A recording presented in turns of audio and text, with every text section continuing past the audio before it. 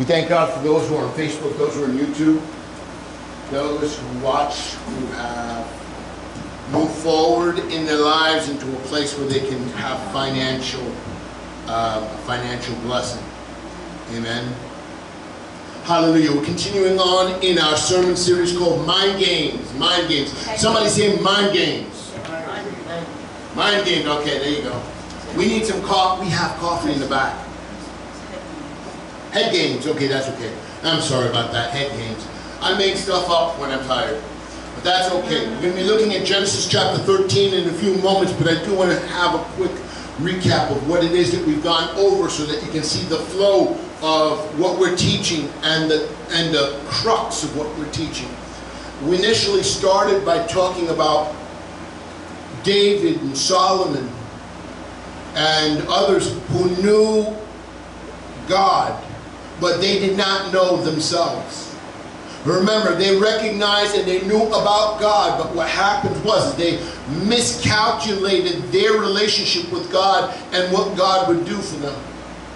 They didn't recognize God probably would have done more if they were obedient. They didn't recognize their appetites. They didn't recognize the things that they have, uh, they, they, that they would experience and how it would start to come. And it would start to bring them into a direction in a place where it wasn't good. Last week we spoke about the widow.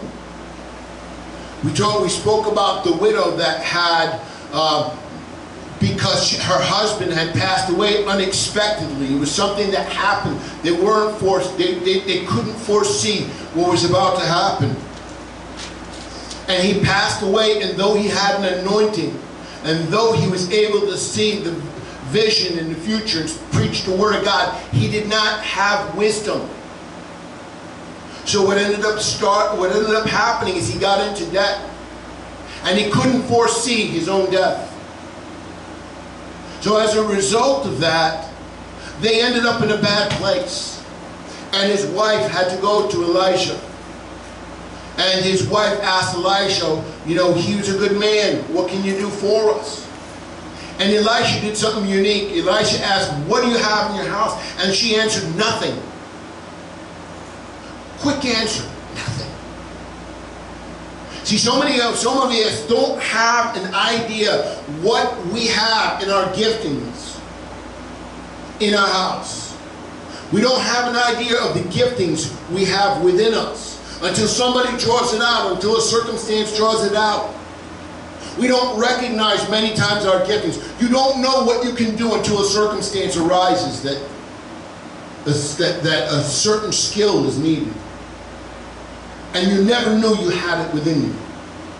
She had no idea what was in her heart and in her life. You see, so sometimes we don't recognize what's in us. We can believe God, but God says, I want to bring all thoughts captivity to Christ Jesus. It's something that we have to do. Because no matter what, a portion of us, a portion of the flesh, is going to be alive. And the flesh is always going to be at enmity. That means at odds. That means the flesh is always going to go against what God wants. The flesh is always going to go where, where it wants. The flesh is something that's unincorrigible. It cannot be changed. There's only one place for it to go, death. Now we're on part three of head games. And the title of our message today is A Lot Lost.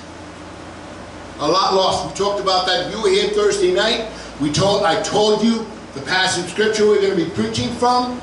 I wanted you to study it for the purpose of being able to come to certain conclusions and write things down. And we can talk about this in the near future, where we can have a round table and sit down and talk about how God speaks to us and how God's using us and how God is ministering in and through our lives. Amen? Let's turn to Genesis chapter 13. Genesis 13, and we're going to be reading from verse 5 to verse 9. The scripture says this Now Lot, who was moving about with Abram, also had flocks, herds, and tents. But the land could not support them while they stayed together. For their possessions were so great that they were not able to stay together. And quarreling arose between Abram's herders and Lot's. The Canaanites and Perizzites were also living in the land at the time. So Abram said to Lot, Let's not have any quarreling between you and me, between your herdsmen or mine. For we're close relatives. Is not the whole land before you? Let's part company. If you go to the left, I'll go to the right. If you go to the right, I'll go to the left. Let's pray. Father in heaven, we thank you for your word. We ask in the precious name of Jesus that you prepare our hearts, you prepare our minds, that you would renew our minds, Lord God, according to your will and purpose and good pleasure.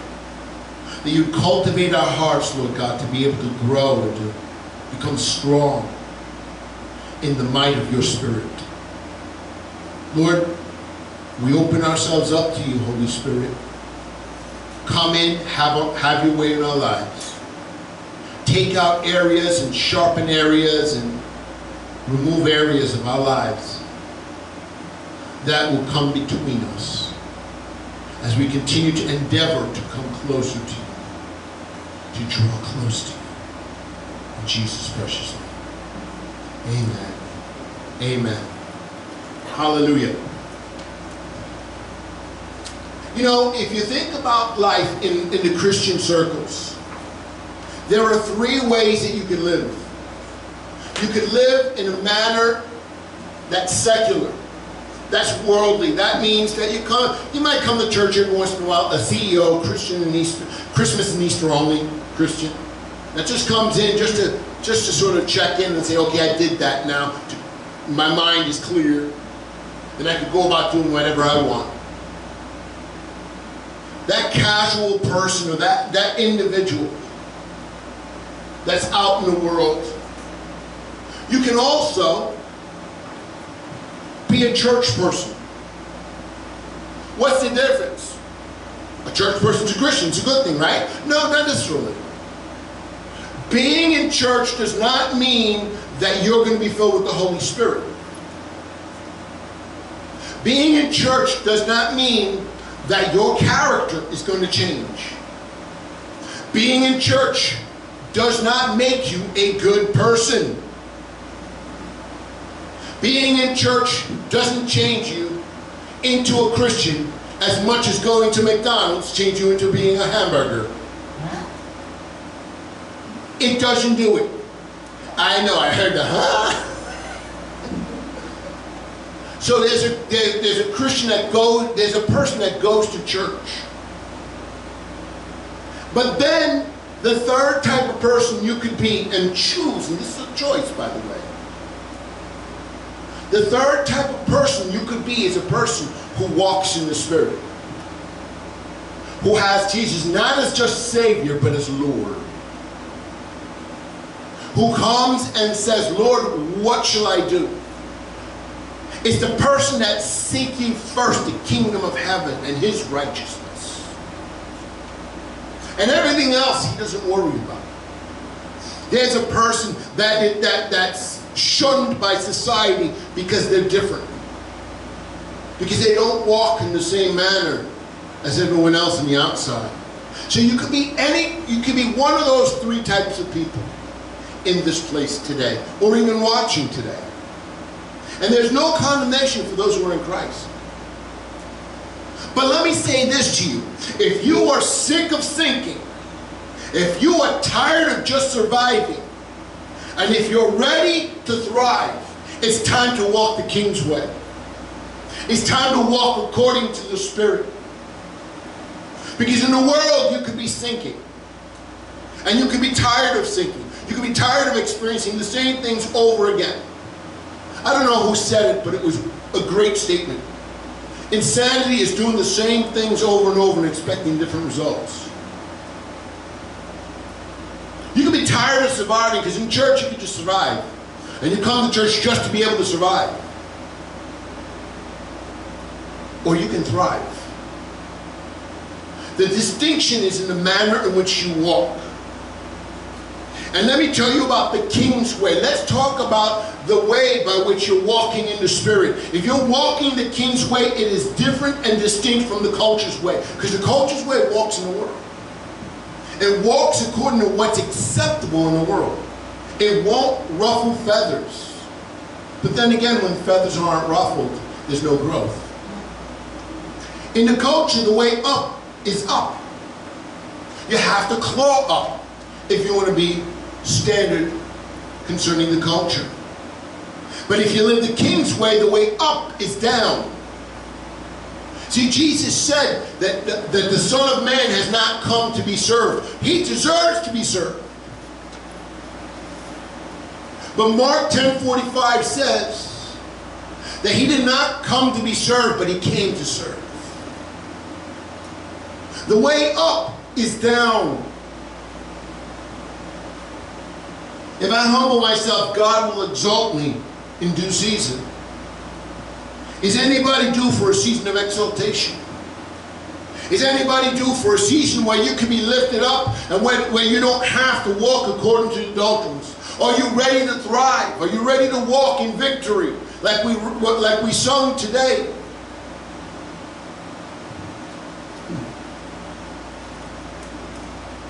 If you're living like the culture's way, you take what you get. If you're living like the king's way, you give to get. It's different. Because when you pour out, God will pour in. When you give, when you when you give, especially out of your need. And I'm not saying, hey, give give the church your money for uh, rent and be homeless. No, that's not what we're talking about. What we're talking about is an attitude, a lifestyle of giving. It's not just in a building two hours a week. It's living out there. It's walking out there. It's being visible out there. To be a blessing to others and God will pour into you joy. That's why the words are said. It's, it's more blessed to give than to receive. The Bible says, Give and it shall be given unto you, good measure, pressed down and shaken together. Running over shall men give unto your bosom. Wow. And women too. And mothers. Amen? In culture, you have to gain to gain. You have to continue to scratch and claw to gain. But you, when you live the king's way, you lose to gain. Do you remember what we talked about on Thursday? Every, and the principle is this, and we're looking at Acts chapter 8, we'll be looking at Acts chapter 9 next week, Lord wills, on Thursday. But in Acts chapter 8, in order, whenever something dies for the kingdom of heaven's sake, our God that we serve is the God of resurrection. And because he's the God of resurrection, whatever we offer to him gets risen up again. How do you know that, Pastor Chris? Give me a scripture. Romans chapter 12, chapter 12, or Romans, in fact, even better, Romans chapter 8. Offer yourselves a living sacrifice unto the Lord. Offer yourselves. Because there's no condemnation for those who are in Christ. Amen? Bible says he who wants to save his life must be willing to lose his life. Because the one who loses his life saves his life. See, when you're living the king's way, there are times that your addition will come through subtraction. All this is to say that there are times when you think you're going through loss. You think you're going through something that you cannot make it through. You're going through something that's heart-wrenching. You're going through something that's hard. You're going through something that's jerking tears from your eyes. And you think it's over because there's no other way. But God is saying to you, when one door closes, another door is going to open. And sometimes to get, you lose. There is a reconciliation for losses in our lives.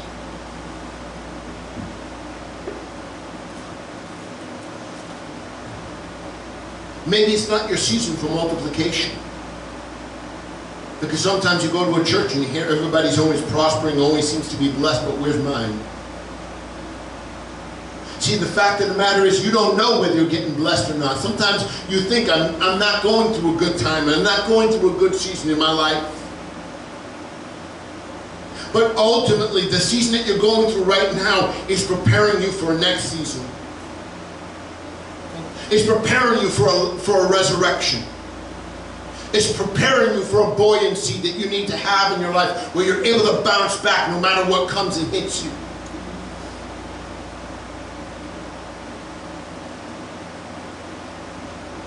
So when you're living the King's way, your addition could sometimes come through subtraction. And if you're aware of how God does things, in these seasons, and this is the hardest thing, believe me, I'm learning it, right? I was very transparent on Thursday. I'm learning it. We're learning it all together. It doesn't make a difference. 20, 30 years, 40 years. Paul took 30 years and he said, I still can't attain it. But even throughout the years and everything like that, we're continually learning.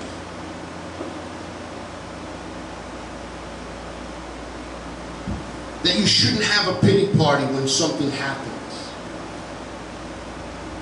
Instead, you should have a praise party. Because over the years, in 30 years plus that I've been serving God by the grace of God, and Louise even more, we need to tell you, we, somebody needs to know in this place or even at home today that there's some stuff that because you know when God takes, He's ready to give. He's always ready to give. And I don't know what needs to be subtracted from your life. But I want to tell somebody here that God will never take something from you that you need. He may, he may take something from us that we want. He may take something from us that we learn to become accustomed to lean on. He may take something away that we start to depend on or things that we might even want to keep for keepsake.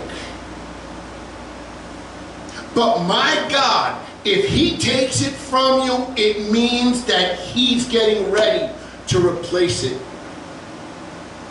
with Himself. See, even if He doesn't replace it with anything else, He says, I'm going to step in. I'm going to show my people that I still got you. See, I'm going to be a lawyer in the courtroom for you. I'm going to be a doctor in the sick room for you. And I'm going to be a bridge over troubled waters for you. Where's that in the Bible?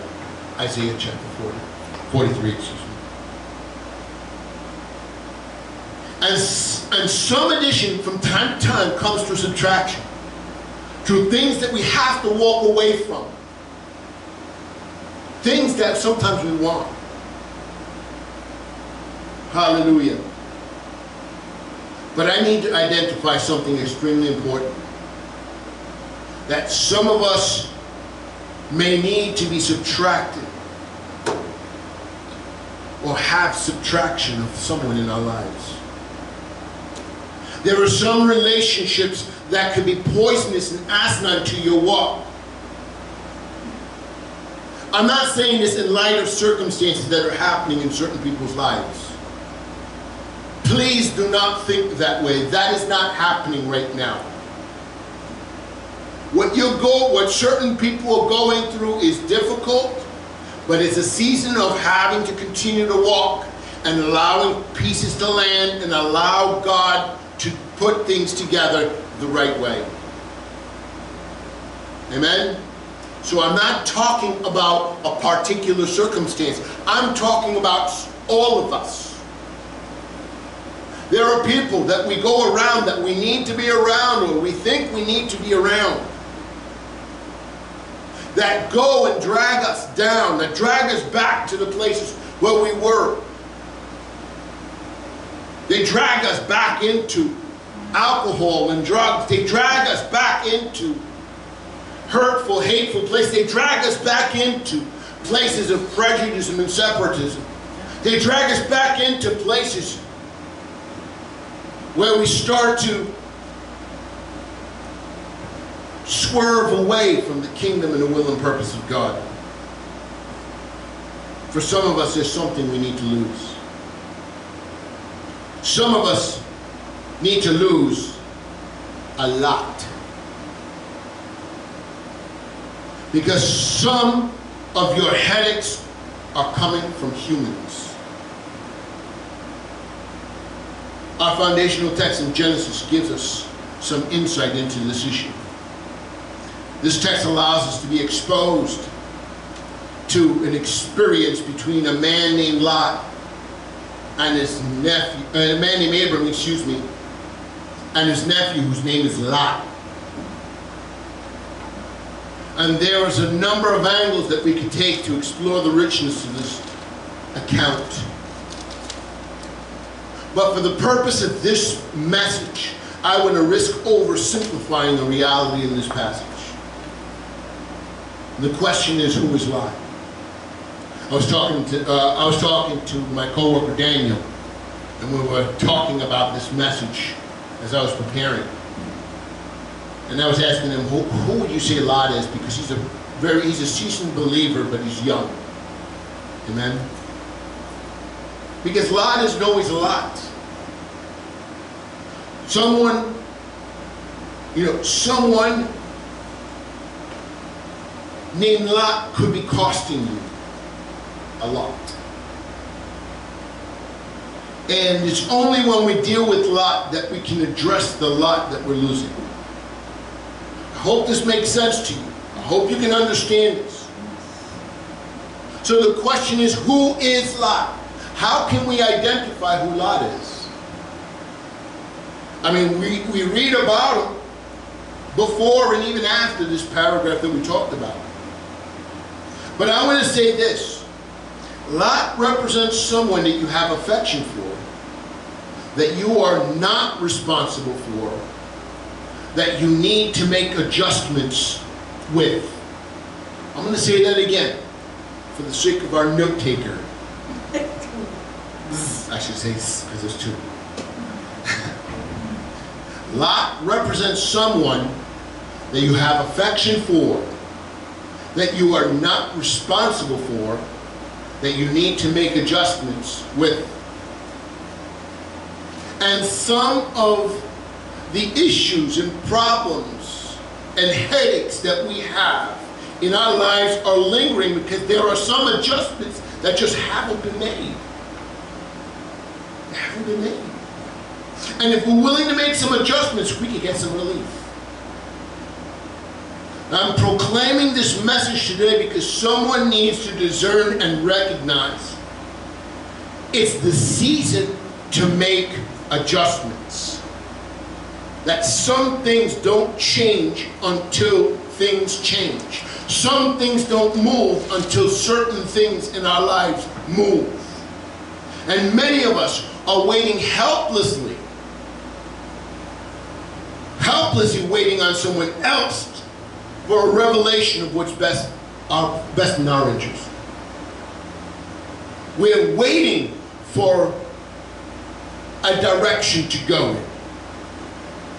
And we're waiting on them to get a revelation that they need to make an adjustment so that they can help us.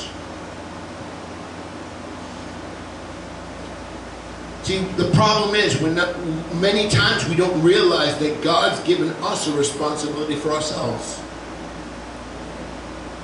And that's not to say or to be or to cultivate selfishness. But there has to be a responsibility that we take upon ourselves for ourselves.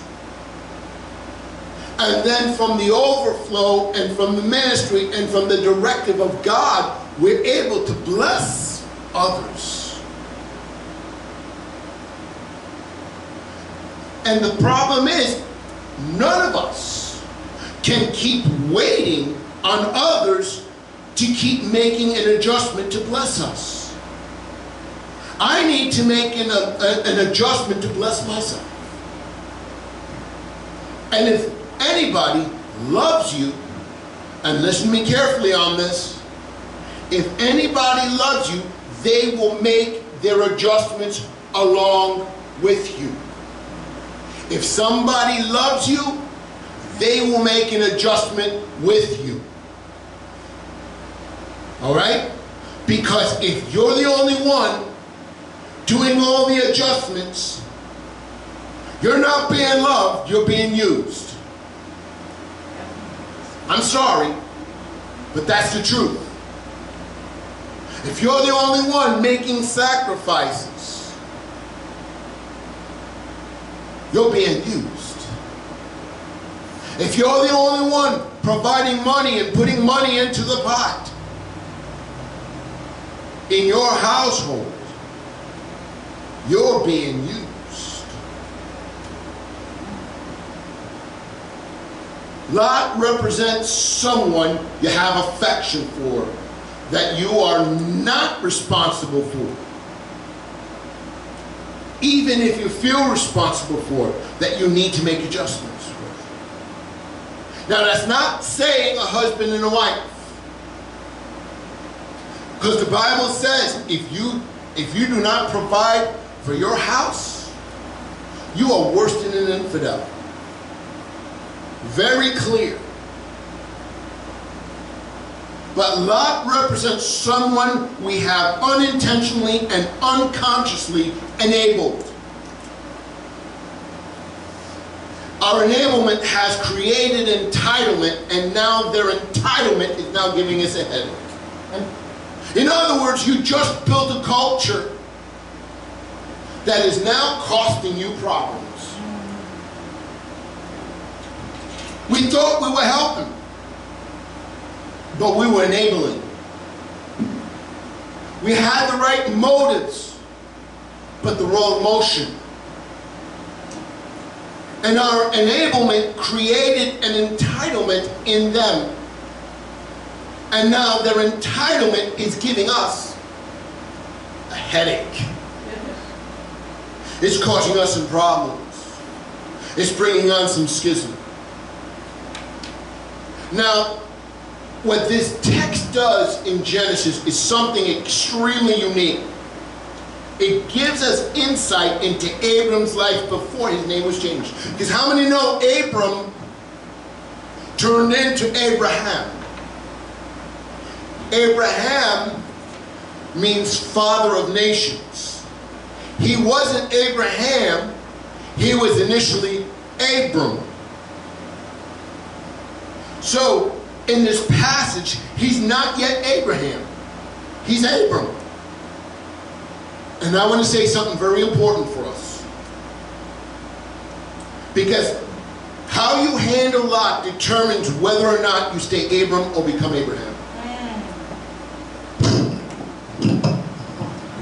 I broke the mic. I wanted to drop it so bad. How you handle Lot determines whether or not you stay Abraham or become Abram or become Abraham. See, Abraham represents the potential who he was supposed to be. The potential of what he was supposed to be called and his purpose in life. It's reaching the pinnacle of what God desires for your life. That's Abraham. But when you're constantly and chronically responsible for someone else's responsibility, it impacts our ability to be responsible for the things and the people that we're responsible for and who God calls us to be responsible for. And what God is going to require for you it requires both hands.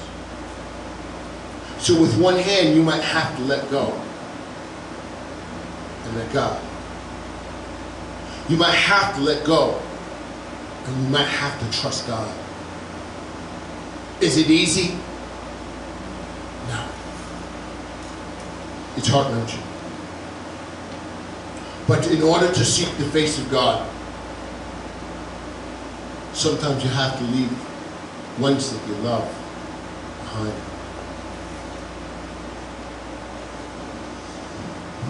Jesus didn't have one hand nailed to the cross, he had two. Because you got your hands full with you. You can't do two people, you can only do your responsibility. For you, God, and family. So it becomes difficult to accomplish certain assignments when we don't make the adjustments that we need with Lot and with that relationship. Listen to me, sometimes we're acting out of affection. And we assume that we're acting out of love. How do you know the distinction? Affection always says yes, but love sometimes says no. I remember an old song, if you love somebody, set them free. I didn't realize it would be so prophetic. But that's what the scripture right here is talking about. Sometimes love has to say no. And so affection can drive our actions and we can act in ways that are unhealthy. We can start to become in, we can start to become obsessed with certain things that we believe that we need in our lives.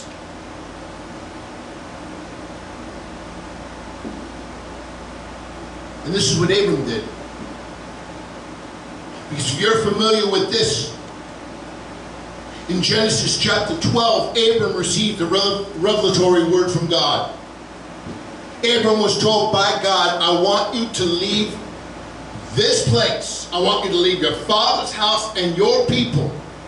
And I want you to go to a place that I have prepared for you. In other words, that required separation from the familiar to go to that which is unfamiliar for God. Get out of your country and your kindred to a land that I'm going to show you.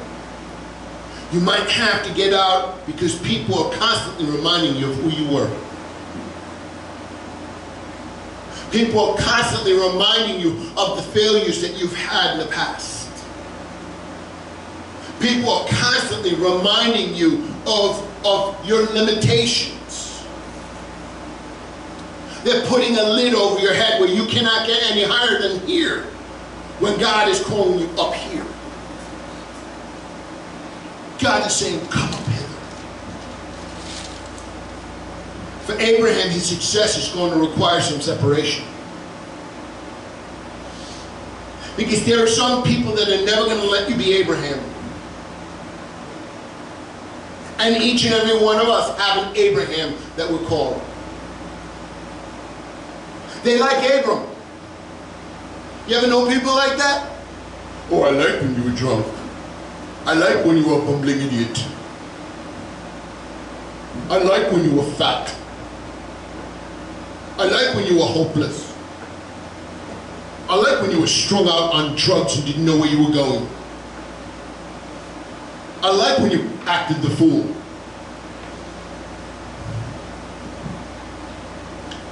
They like you stuck. They like life with Abram. They love Abram, though Abram is inferior version of you. Hmm. They love Abram and you don't. They love the person that you hate and the person that you wish you were desperately out of. And they're constantly reminding you of that. You know, there's some people that love a version that you don't. And some people love you when you didn't like yourself too much. So as we look in Genesis chapter 12, God says to Abram, what I need and want you to do in and through you requires me separating you from previous influences. I don't want you to be around those people with the poor attitude. I don't want you to be around people who have poor mentality. I don't want you to, to, to, to be around those people that are like scavengers. I need to get you into a place where you be where your mindset and your thoughts are different. I need you to step up. See, he's not saying where you came from was inferior. Because there was a ministry for that. But what he's saying, what he's saying is, what I want to do in your life requires you to get away from those people. You can't be fighting to get clean from drugs and hang out in Coe Park. Hmm. I'm sorry. Don't tell me I'm fighting through alcoholism when you're sitting down in the bar day after day. Certain things you have to step away from. Certain things you have to walk away from.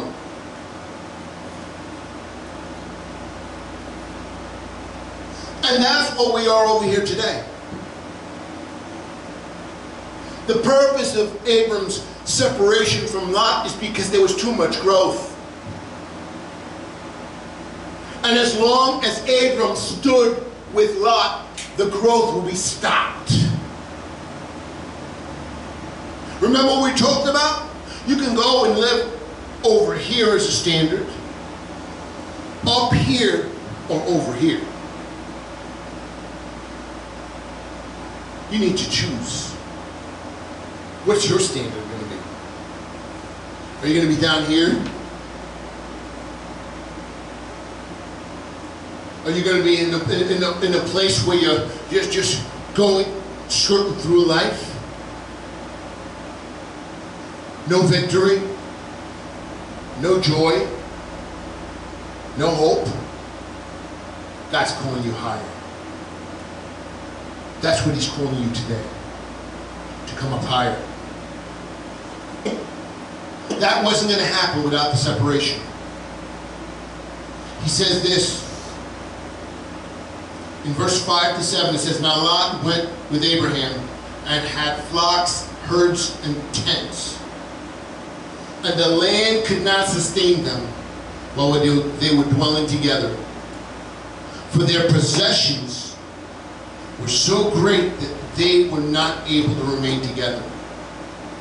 And there was strife between the herdsmen of Abram and the herdsmen of Lot. Now, the Canaanites and the Perizzites were dwelling in the land. Why would God put that in there? Because how you walk is a testimony to people. The lost are always looking at you. Lost people are looking for a reason for life because they're down here. And they know it. They want to have life and life abundantly. They want to have love. They want to have freedom. But they're down here and they're caught. They're in prison. They can go no further than the bars that they put on their own parameters of their lives. Showing constraint and separation for the name of God's sake from time to time is what's necessary to be a testimony. Because you're valuing God greater than you're valuing your own desire. What you've become accustomed to. You will become a testimony. In order for them to get what they needed to, they also had to defeat the Canaanites and the Perizzites. They also represent the spirit of the land that has to overcome. And it can't be overcome if there's violence, if you're fighting within yourselves. Hallelujah. Then Abraham said to Lot, Please let there be no strife between you and me, nor between my herdsmen and your herdsmen, for we're brothers. They recognize a relationship.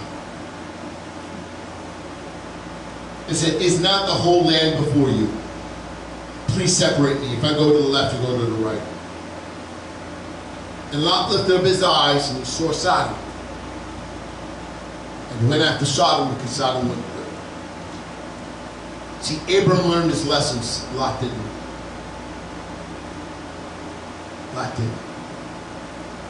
The amazing thing about that is after this happened, after the separation happened, he said this, watch this.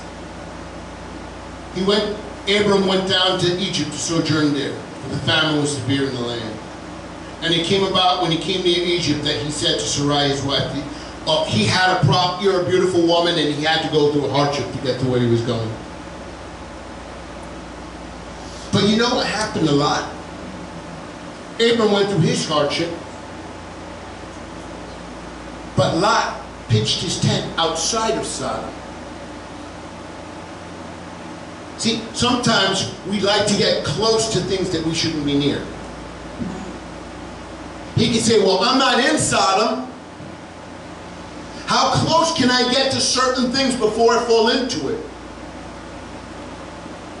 Oh, I didn't do anything, but I was in the back of a steaming car with somebody who looked good from the opposite sex. I didn't do anything. Yet,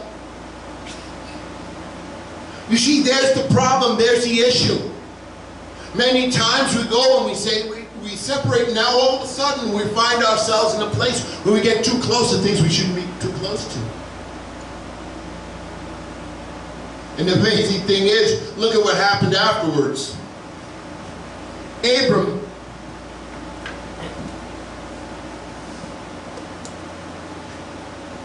there was a battle and a fight, five kings against four kings. And Lot was taken into captivity, and Abram heard about it. And Abram went and got three, he stopped whatever it was that he was doing, taking care of his family, growing his livestock, and everything else that was happening.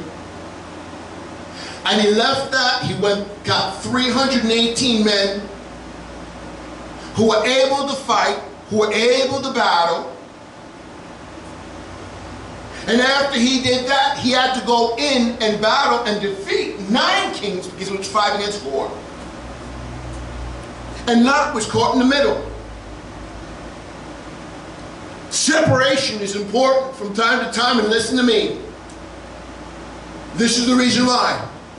Because Lot got delivered, and then they came back, and they met this unique man named Melchizedek, and he gave him a tithe, and said, Thank you for giving us the victory. But I needed the victory because of Lot, not because of myself. Because of somebody who I was responsible for. I was brought back to that place. I was brought to a place of potential peril because I had to take care of somebody who I was responsible for. You want to know the head, the, the head scratcher? After Abram rescued Lot from Sodom and Gomorrah, do you know what Lot did? Lot went right back into Sodom and Gomorrah.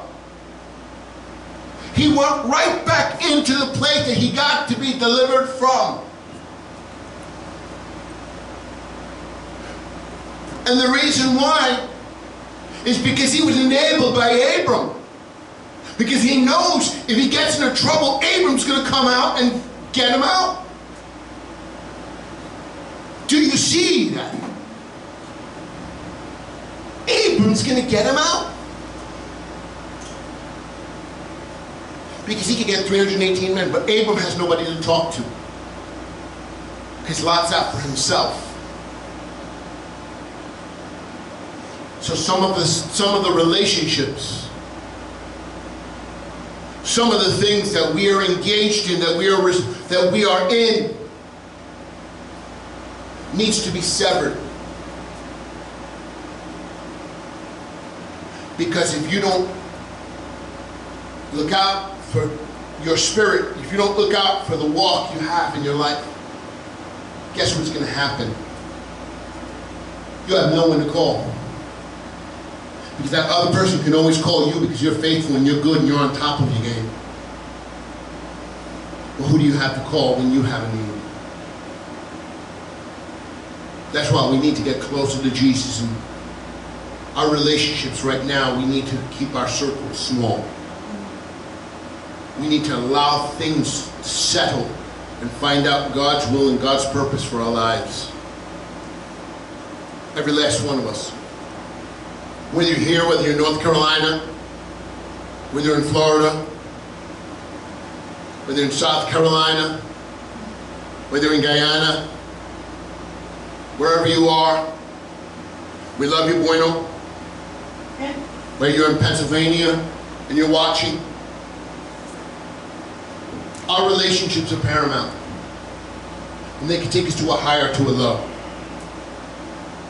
Let's pray.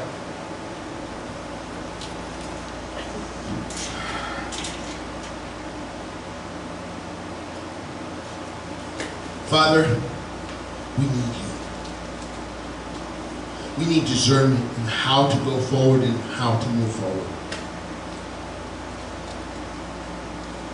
Because some of the relationships are head games. Some of the relationships are giving us a headache. Some of the things that we do, Lord God, help us in how we relate to other people.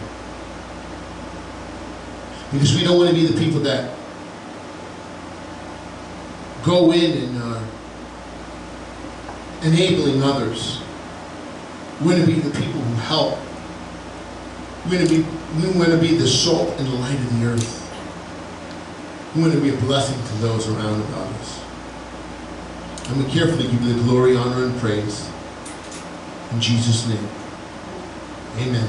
Amen. Coffee and junk food in the back. I see junk food. Wait, hold on a second. Uh, and healthy fellowship. Okay. Oh yeah, Louise brought some fruit too. Amen. Yeah, he always, she always brings fruit. Love you guys.